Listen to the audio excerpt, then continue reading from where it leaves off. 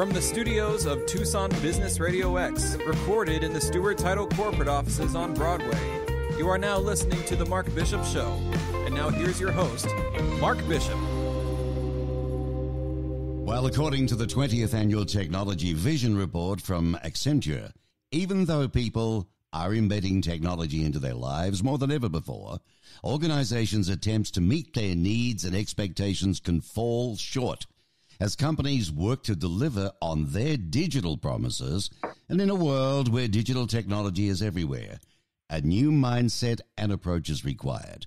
We have Michael Biltz, the managing director of the Accenture Technology Vision Report. Welcome, Michael.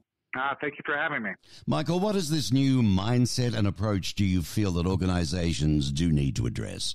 Yeah, I, so I think that the new mindset, you know, is to really start to understand that the people of the world are different than the way they were. You know, when you think about people's lives today, is the you, you, suddenly realize that it's completely integrated with technology. And whether you're talking about an Amazon or a Walmart, you know, looking to, you know, ask for your key to your house so they could automatically deliver packages or mm. whether you're talking about you know um, you know selling your car because you've got access to uh, Lyft or Uber is that suddenly both businesses and technologies are being entwined into our lives in very different ways. And what this has done is it's created an entirely new set of expectations from consumers. Right. Yeah yeah, the slicker we get, the more we want, isn't it? Really, whichever way you look at it. It is. Now, yeah, I mean, so it's part of it. Part of it is that never-ending bar that's being raised. You know, you look at somebody like, um, you know, we were having a discussion with the, the CIO for uh, Kaiser Permanente, and they made a comment, you know, that it was this expectation that consumers had that because they could have a mobile app that instantly in 30 minutes delivers their pizza is the there was the expectation from them that they should be able to deliver their prescription drugs online in the same type of manner. And so it's not even necessarily a competition thing.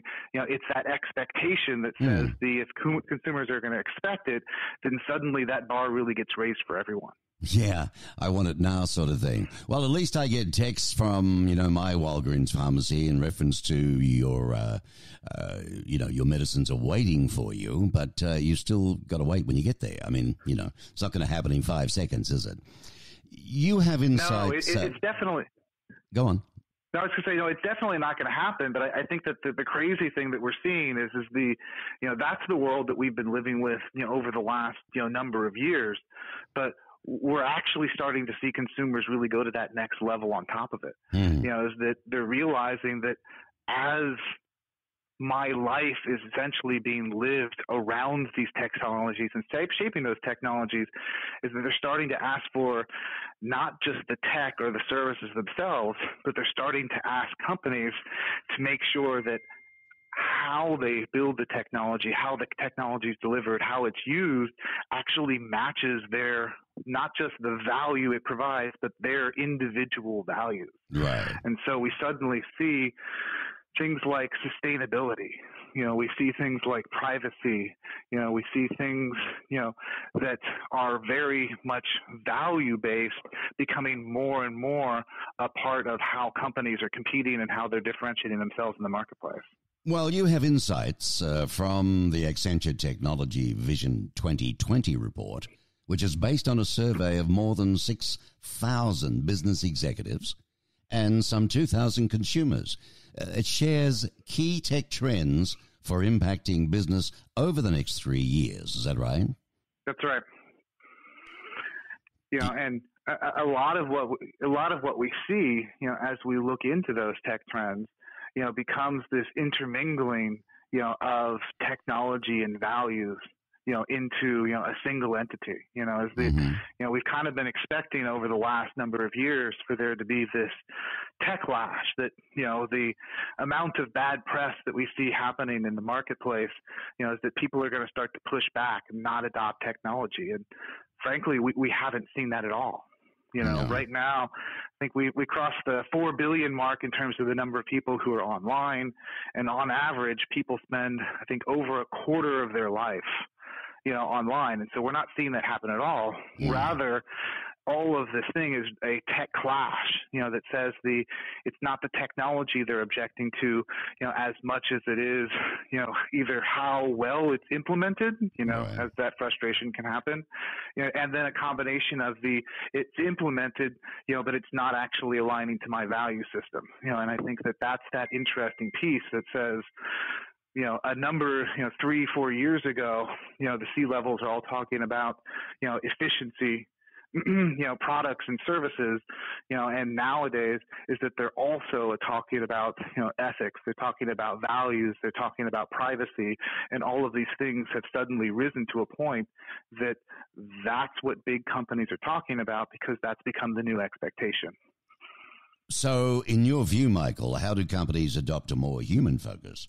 How do they better meet uh, people's expectations? What's the best thing they can do? Yeah, and it's trust, and, and this is the interesting thing: is is the you know you you're talking about companies, you know, and a lot of them, you know, have had you know a, a very distant relationship with their consumers, you know, themselves. You know, is that you know they sell a product, you know, and then they go someplace else and the next interaction with most of their consumers isn't either till they have a problem or until they sell another product. Right. You know, now we're talking about smart things that says you're interacting back and forth. People are shaping and changing their lives around it.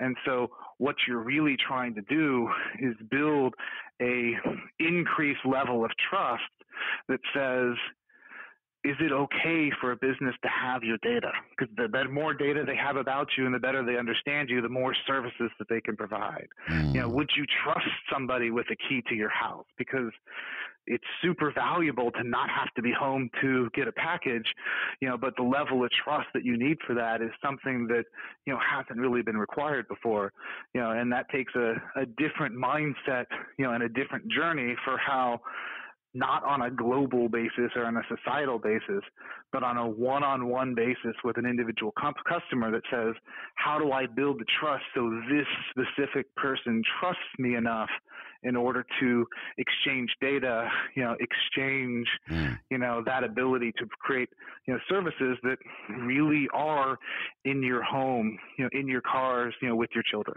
Yeah, it is. And it's pretty scary because, you know, uh, the lucky ones, the younger generation that have been able to be brought up in schools with computers, uh, they're on, uh, you know, iPhones and so on. Uh, for more seniors, um, it's still tougher, still learning.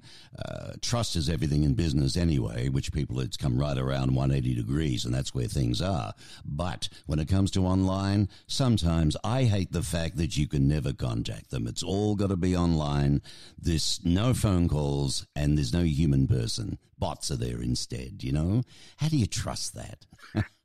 Well, but I think that's the point. I, You, you almost said it, you know, immediately yourself. Is the the reason that you crave that person is because you don't trust them. You know, and you know, I, I look at it that says the there are certain companies and there are certain institutions, you know, that we already trust, and they have an enormous amount of information on. So think about something like um, a credit card company.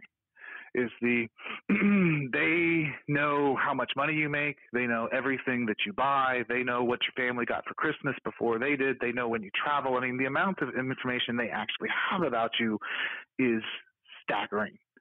But they've spent the last 50 years building up a level of trust that says people are okay with some of the automation pieces. You know, people are actually, you know, happy, you know, to have a text alert instead of a person calling about, you know, a potential fraudulent charge.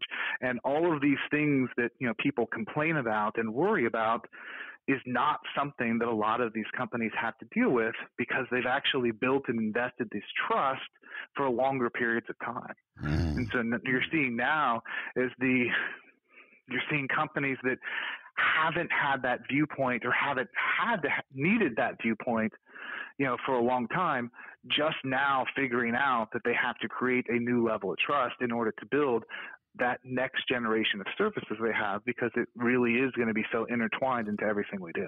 Yeah, absolutely. Well, we just about got to go, but on that point, I want to make a note. Uh, you know, credit where it's due, I guess. But Amazon have done this well. You know, with their regional people all across the country uh, who may work out of their home.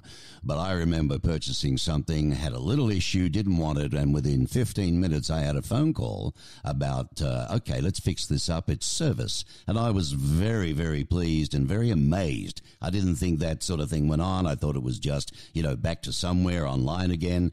But they took the step to still keep human services within the tech field. And, and that was a smart move. No, and no, it, it is, and they're not the only ones. I mean, if you take a look, you look at somebody like Costco, is the they have an incredible return policy that's almost a no mm. no questions asked. Mm-hmm. You know, they also do things like, you know, they're very vocal about, you know, how they uh, treat their employees and the benefits that they give them, but they're very pushing this idea that says they want people to understand both their values and understand, you know, that it's very clear they're trying to build a level of trust you know, with their consumers in order to keep them coming back. And I think that this, instead of becoming, you know, I'm going to say a lone example, is that more and more is the this is going to become a, a way that people are going to be doing business, and we're going to mm. see a lot of companies picking sets of values from sustainability to you know how they treat their workers you know as platforms you know for how they both position themselves brand themselves and you know build trust in their communities Fascinating stuff. Uh, Michael Biltz, he leads uh, Accenture's Technology Vision. It's uh, an R&D group in the company's annual technology visioning process. And uh, through this process, Michael defines Accenture's perspective on the future of technology beyond the current conversations about social, cloud, mobility, and big data. Fascinating stuff, Michael. Be good to chat to you again sometime. Now, people can go to what www.accenture.com slash technology vision. Is that right? That's right. Or you can just go ahead and Google Accenture Technology Vision. Fantastic.